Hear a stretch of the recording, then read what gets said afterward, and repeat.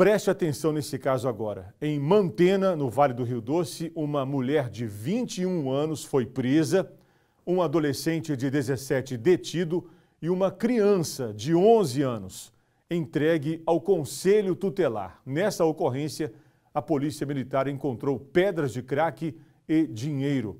O repórter Miguel Braz, ao vivo, tem outros detalhes. Miguel, boa noite para você.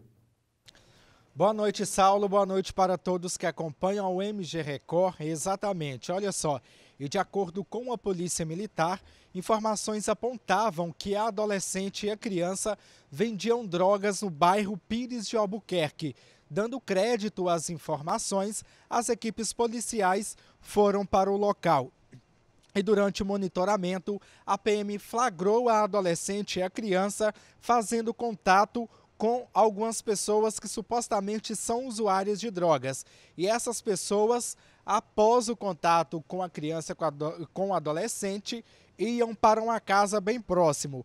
Os militares ainda verificaram que nesta residência havia uma jovem de 21 anos que recebia os adolescentes, fornecia drogas e ainda recebia dinheiro.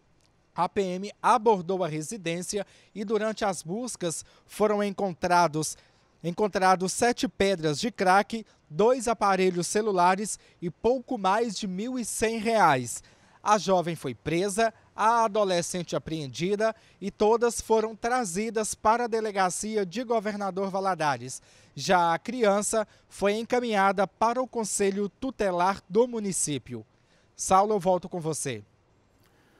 Obrigado, Miguel, por enquanto.